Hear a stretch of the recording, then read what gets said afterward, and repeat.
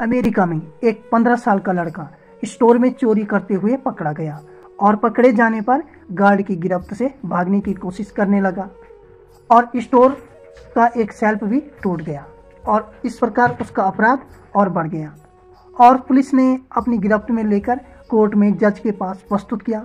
तो जज ने लड़के का जुर्म सुना और लड़के से पूछा, क्या तुमने सच में कुछ चुराया था?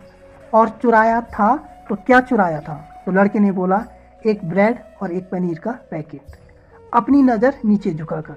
तो जज ने पूछा, क्यों चुराया? तो लड़के ने बोला, मुझे ज़रूरत थी। फिर जज ने बोला, खरीद लेते। तो लड़के ने बोला, पैसा नहीं था। तो जज ने फिर कहा, पैसे नहीं थे तो घर वालों से ले लेते। तो फिर लड़के ने कहा, घर पर केवल माँ है और वो भी बीमार और बेरोजगार है। और ब्रेड, पनीर माँ के लिए ही चुराया था। तो जज ने फिर से कहा, तुम कुछ काम नहीं करते, कुछ काम कर लो। तो लड़का बोला, करता था। एक कार वॉश में और एक दिन माँ की देखभाल के लिए छुट्टी ली तो जॉब से निकाल दिया। तो जज ने फिर से कहा, तुम किसी से मदद मांग लेते? तो बोला, सुबह से तकरीबन पचास लोगों के पास गया, लेकिन निराशा ही हाथ लगी और अंत में चोरी करनी पड़ी। जैसे ही बहस खत्म हुई, जज ने अपना फैसला सुनाना शुरू किया और कहा, चोरी एक शर्मनाक जुर्म है और इस जुर्म के हम सभी हकदार हैं। अदालत में मौजूद हर शख्स पर 10 डॉलर का जुर्माना लगाया जाता है और 10 डॉलर दिए बिना कोई भी यहाँ से नहीं निकल सकता।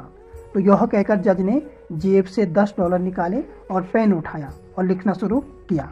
स्टोर पर एक हज़ार डॉलर का जुर्माना लगाया जाता है और उसने एक भूखे बच्चे से गैर इंसानी सलूक करते हुए पुलिस के हवाले किया।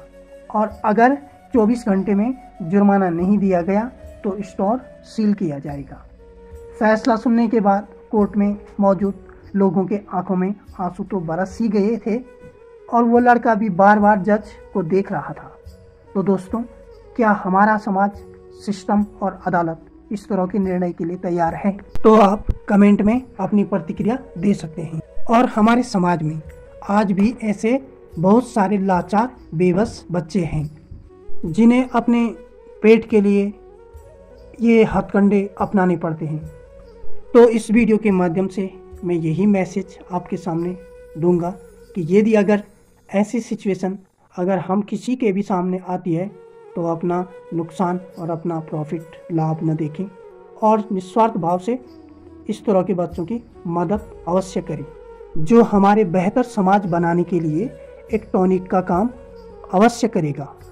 तो इस तरह की वीडियो देखने के लिए आप चैनल को सब्सक्राइब करें वीडियो को लाइक करके अपने दोस्तों के साथ शेयर करें। जय हिंद, जय भारत। नमस्कार।